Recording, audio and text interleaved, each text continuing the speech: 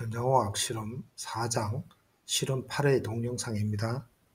실험 내용은 DMM을 이용한 LED의 특성 측정입니다. 빨간색 LED를 준비합니다. LED는 극성이 있습니다. 이쪽이 아노드, 즉 양극이고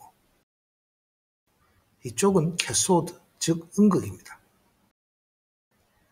외부의 다리 길이가 긴 쪽이 아노드, 즉 양극이고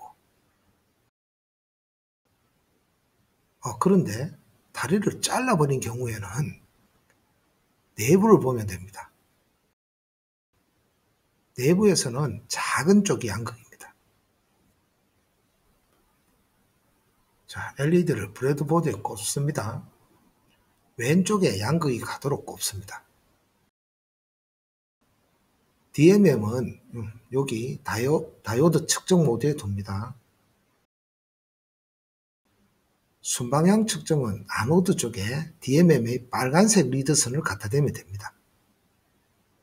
실험실에 있는 LED는 이때 약 1.8V가 측정되면 정상입니다.